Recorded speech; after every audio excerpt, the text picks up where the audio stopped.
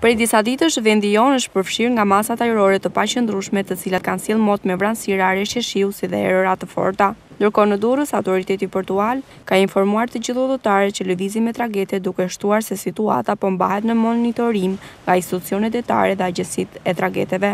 Nga ana tjetër, Shërbimi Hidrografik mbrëmjen e djeshme ka njoftuar të gjithë lundërtarët se për shkak të motit të keq janë shkëputur bova kardinale perëndimore e cekinës së Talbotit në Kepin e Selitës, si dhe bova e ujërave të lira, bova e Pilotit në hyrje të kanalit të Portit Durrës.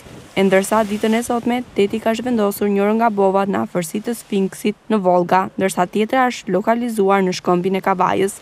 Shërbimi Hidrografik gjithashtu i bëri thirrje lundërtarëve që të tregojnë kujdes gjatë lundrimit në këto zona si dhe për praninë e objekteve të ngurta që ndodhen në det si pasojë e prurjeve nga lumenjtë. Në lidhje me situatën që paraqitet në sektorin e peshkimit, dispeçer Bujar Bala u shpreh se gjithë flota e peshkimit të Durrësit është e strehuar në portin bazë. Tani këto momente që po flasim, gjithë flota e peshkimit Durrës është e strehuar në portin bazë, nuk kemi asnjë mjet lundrues jashtë portit edhe me porosi të Drejtorisë së Përgjithshme të Detarisë dhe Kapitenerisë së Portit Durrës, është dhënë urdhër që mjetet e vogla deri në përmirësim të situatës të mos lëvizin pa leje nga Kapiteneria. Siç e shikoni dhe vetë, koha është tepër e ashpër. Sot në mëngjes xhiroi nga veri-verilindje e fortë, shumë e fortë, se deri ditën e në të gdhirë të sotme ishte koha në jug e ashpër.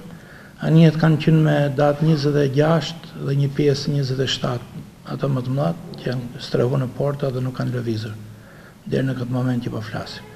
Edhe perspektiva Të paktën edhe për dy a tre ditë është po e njëjta situatë, e pamundur për të dalë për të, të, s'i dihet forcë madhore se si shkon qetësohet ndërsa për në port e shikoni edhe vetë që këtu era fryn po dallgë det nuk ka anijet pa problem janë të ankoruara pa asnjë shqetësim.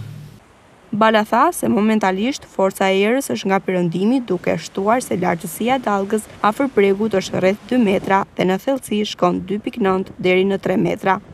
Forca dhe drejtimi i erës është nga perëndimi për momentin, po qëndron e man veri-veriperëndim. Lartësia e dallgës afër bregut është rreth dy metra, në thellësi shkon dy pikë nëntë, tre metra.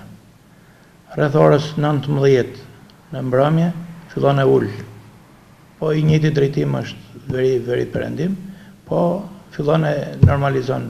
Porti i peshkimit në qytetin e Durrësit për shkak të situatës meteorologjike jo të favorshme është duke u përballur me një pezullim të aktivitetit.